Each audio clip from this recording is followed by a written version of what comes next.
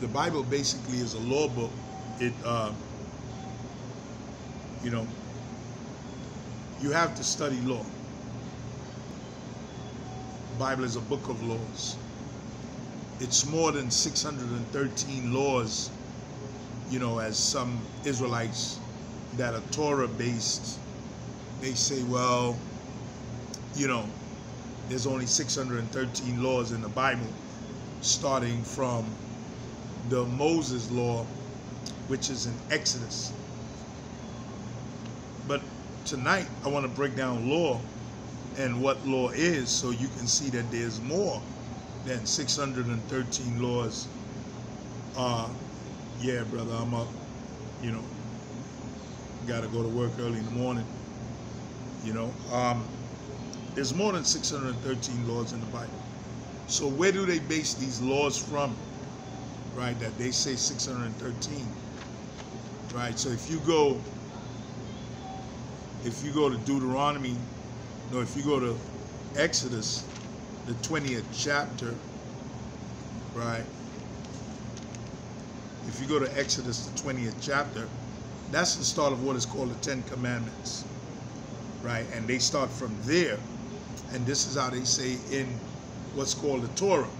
Now, the Torah is just the first five books of Moses.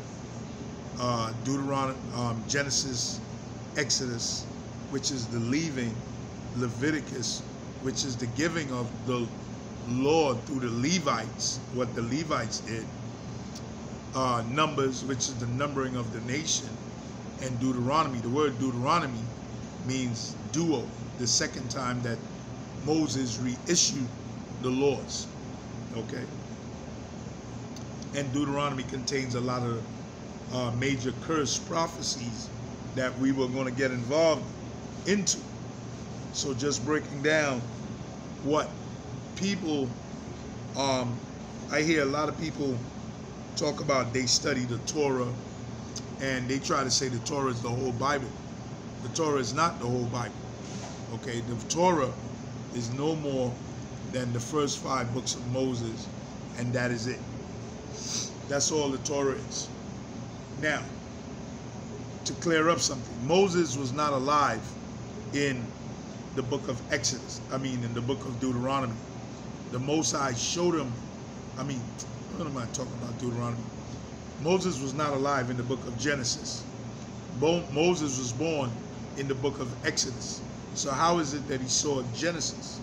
The, Mo, the Most High held him. The Most High brought him to him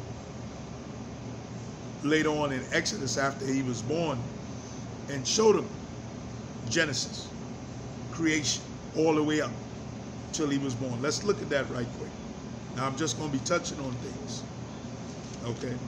So let's go back to Exodus, the first chapter, to show you that Moses was not alive. So then you have to say to yourself, well, if he was not alive during Genesis, how did he know all these thousands of years? How did he break all this stuff down? Okay. So I'm going to start at Exodus, the first chapter, and run through it right quick. Now, these are the names of the children of Israel which came into Egypt. Every man in his household came with Jacob Reuben, Simeon, Levi, and Judah four, right? Issachar five, Zebulon six, Benjamin seven, Dan eight, Naphtali nine, Gad ten, Asher eleven. So how is it that there are 13 tribes?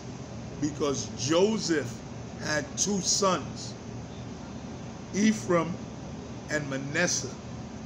Those two sons took Joseph's spot and made 13. And then Dan was taken out, and that made it 12. Okay? So you must know the math and the numbers. All the souls that came out of the loins of Jacob was 70 souls. For Joseph, see that? Joseph was already there from Genesis because the brothers tried to kill Joseph and then they end up selling him, right? They end up selling him, and he was sold into Egypt. See, the Lord was setting this up. The Lord was setting this up. See, the Lord moved in ways that you don't understand. So when you think you're doing something bad, it works for the goodness of the Lord. His plans. Okay? Now, the hatred that is among black men has been incept because that's in our spirit. That's in our nature. Okay, let's look at that hatred. Let's go to Genesis. We hated our brothers, man. We hated our brothers. And that hatred is still in us amongst ourselves. you want to know why we can't get along? Let's look at this hatred. Okay, let's look at this hatred. Genesis, the 37th chapter. And Jacob dwelt in the land wherein his father was a stranger in the land of Canaan. And these are the generations of Jacob. Joseph, being 17 years old, was feeding the flock with his brethren. And the lad was with the sons of Bilhah and the sons of Zilpah, his father's wives. So a man can have more than one wife, his father's wives. Okay, in the Bible, a man can have more than one wife. That's why it's a lie that people perpetrate that a man cannot have more than one wife. Okay, and they use the Bible to justify that. And because we are under an American system and a European, uh, a Eurocentric Christian version, we are under this Eurocentric Christian lie that a man cannot have more than one wife. Meanwhile, all throughout the Bible, the Lord tells you that a man can have more than one wife. So where did that change? Because a lot of us are still Eurocentrized. You don't really believe in the Bible. And you pluck and choose what you want out of the Bible to justify how you feel.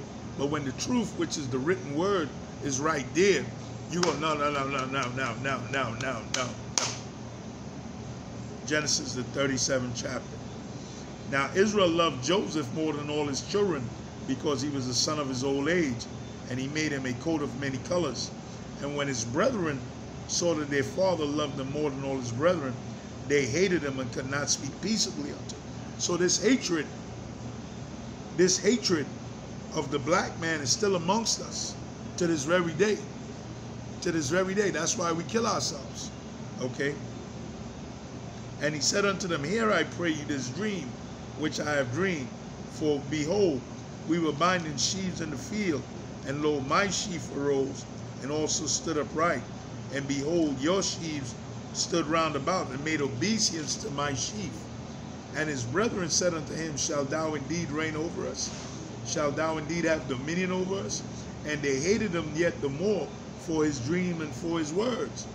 Now, you must understand Genesis right here, the 37th chapter, is what I'm about to show you in Revelation, the 12th chapter. Look at it well. Ninth verse. And he dreamed yet another dream. And he told it to his brethren and said, Behold, I have dreamed a dream. Behold, the sun, the moon, and the 11 stars made obeisance to me. What is he talking about? What is the Most High showing him? Who is the sun, moon, and the 11 stars? It doesn't represent some mystical thing. It represents the nation of Israel. How do we know? Let's hold that and let's go to Revelation, the 12th chapter.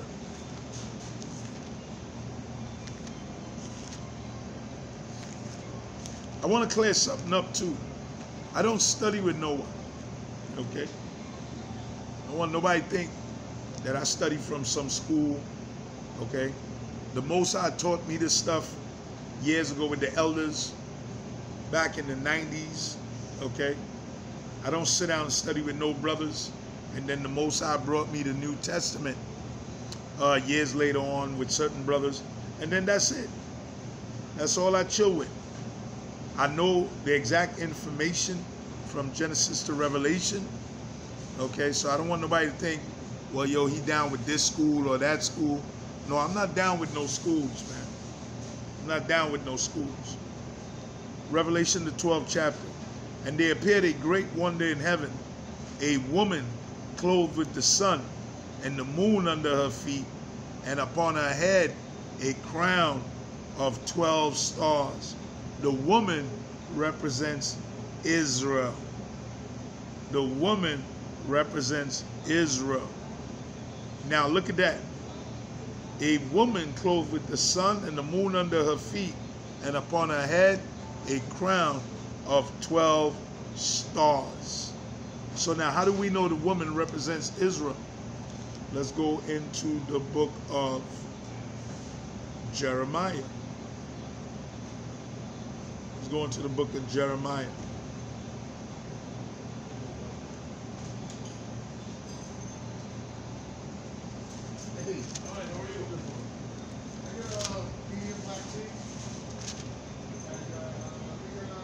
Jeremiah, the sixth chapter and the second verse. I have likened the daughter of Zion to a comely and delicate woman. See that? I have likened the daughter of Zion to a comely and delicate woman. Why? Because the Lord, being a man, was married to us. The Lord, being a man, was married to us. How do we know the Lord was married? So the Lord don't marry men. The Lord don't marry men. He marries a woman. Okay? So let's go to Jeremiah, the third chapter and the 14th verse. Let's look at this. He says, Turn, O backsliding children, say the Lord, for I am married unto you. The Lord was married to us. We are the woman. He is the man. So now when you go back now to Genesis, right? And he dreamed yet another dream and told it to his brethren and said, Behold, I have dreamed a dream more. And behold, the sun, the moon, and the stars made obeisance to me. So it's not talking about the stars out in space. See, you got to know how to break the Bible down. It's not talking about the stars out in the heavens. That's not what it's talking about. Okay? It's not talking about the stars out in heaven. And he told it to his father and his brethren, and his father rebuked him and said unto him, What is this dream? And thou hast dreamed, shall I and thy mother and thy brethren come to bow ourselves down to thee to the earth? So now, Joseph was given a special dream from the Father that Israel and the sons are like stars, are like stars from heaven. That's the dream that he had that we were like stars. Okay? Now, and his brethren envied him.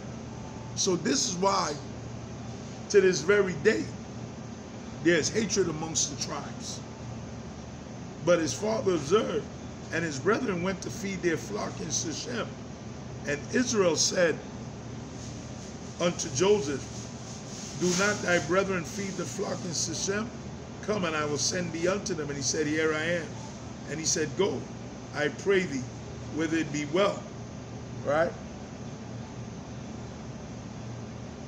Now let's jump in the same chapter to the 38th verse. So when you read this, right, you're going to see how the brothers, first they were going to kill him. They were going to kill their own brother. So when we talk about we better than anybody else. We the same murderers, man. We the same murderers. Now let's look at the 36th verse of the same chapter. And the Midianites sold him, Joseph, into Egypt unto Potipharah, an officer of Pharaoh and captain of the guard. So that's how in Exodus now, Joseph was already down there. See that? So now let's come back to Exodus now. So I'm showing you how Moses was already down in how Moses was down there, but Joseph was already down there. The Most High was already setting Joseph up because he was going to bring famine into the land. Okay.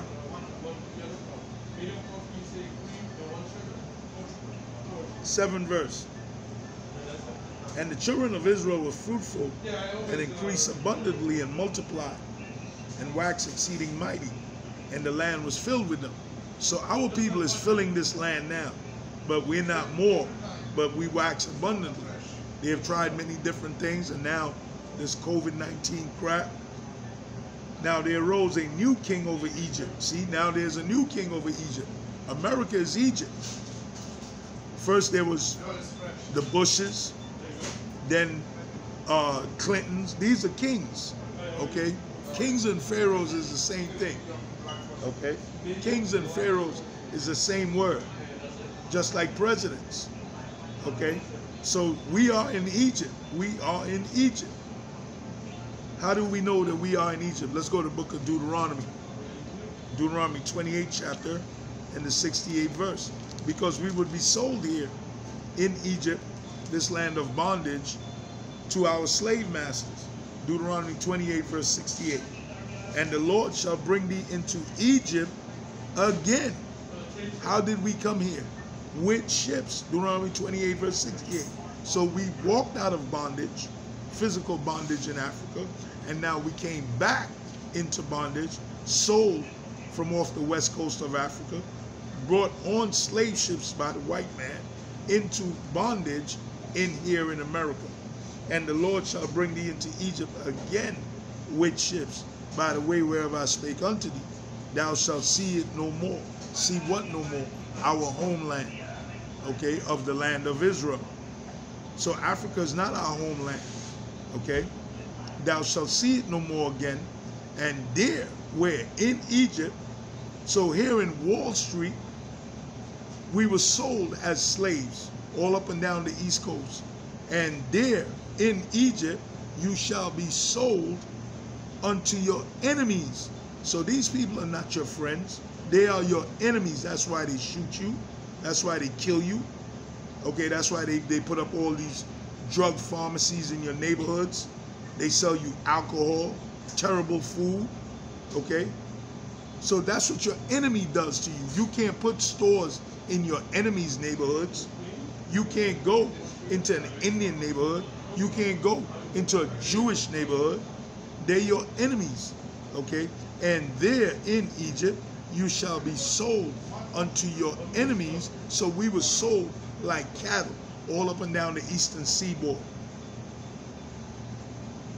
That's how Wall Street came into existence. They, off our economic suppression, that's how they made millions and billions of dollars. That's how they set up the International Monetary Fund. That's how they set up world banks, robbing you. And now they send you to work for $8 an hour, $15 an hour, and then they take back taxes from out of that. So there you are sold unto your enemies for bondmen and bondwomen, slave men and slave women, and no man shall buy you. What does it mean, shall buy you? No man shall be able to take the nation out of this physical and spiritual suppression that we are in. So Moses issued the first testimony. There are two testimonies. Okay? There are two testimonies in the Bible. The first testimony by the first testator came through Moses. That was the first baptism. So the testator is the person. The testator is the person. The testimony is what he testifies, the oral testification of what is given. Christ now brought the second testimony, the heavenly testimony. That's what Christ brought.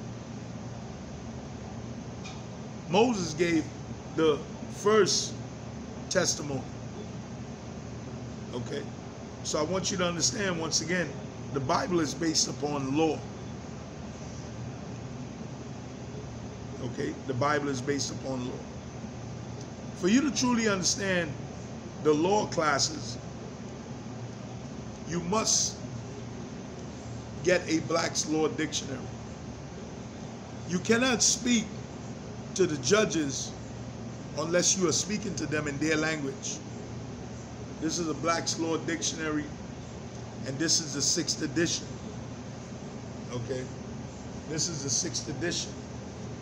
So I bought this. These books are very, very valuable. I bought this book years ago. So it costs a lot of money now. Right? When you become a lawyer, or trying to become a lawyer, you must understand law terms. So for you to understand law terms, you must understand their dictionary. And their codes is written in Latin. Okay? Their codes